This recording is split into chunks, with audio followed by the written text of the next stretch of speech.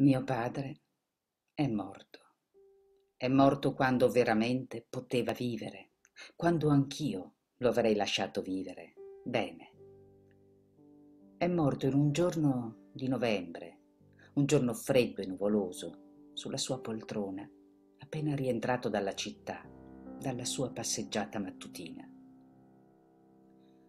Il cuore gli si è spaccato dentro, si è lacerato di un colpo e lo ha ucciso quel cuore che aveva sopportato tante scosse, tante botte, tanti dolori, quel cuore nel momento in cui tutto era a posto, tutto andava bene, l'ha tradito.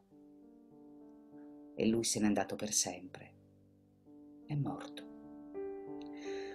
Ricordo come fosse oggi quel giorno, la telefonata di mia madre, la corsa fino a casa loro e l'ambulanza ferma con le luci spente sotto casa. Ricordo mia madre venirmi incontro con il viso pieno di lacrime dicendomi è morto, è morto, ed io che non capivo. E poi ricordo mio padre, il suo corpo, la sua tuta scura. E quando gli accarezzai la fronte e la baciai, il suo corpo era ancora caldo, vi era ancora un filo di vita in lui. Poi immediatamente tutto divenne freddo. Lui era ancora lì nella sua camera, nel letto grande, quello del suo matrimonio. La sua vita terrena era finita e ora per lui ne iniziava un'altra. Ripenso al suo funerale pieno di gente, di persone, di amici, di condoglianze, di strette di mano, di lacrime, di baci. E poi quando uscimmo dalla chiesa, il sole filtrava attraverso le nuvole e guardai in alto e pensai che era bello, che mi piaceva l'idea che lui fosse salutato da un esile e debole raggio di sole. Durante la funzione volli leggere uno scritto e ricordo che piansi molto quando decisi di infilare nella sua giacca una copia di ciò che avrei letto il pomeriggio. Lo salutai per l'ultima volta per l'ultima volta mi trovavo da solo con lui e per la prima volta mi sentivo con lui.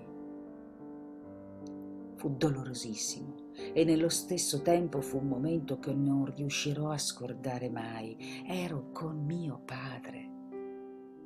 Ero con mio padre. Spesso lo sento, sento la sua risata, sento il suo sguardo e non mi impaurisce più ma mi dà forza.